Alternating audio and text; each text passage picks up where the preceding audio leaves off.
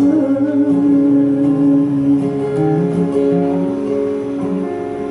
the lady dressed in white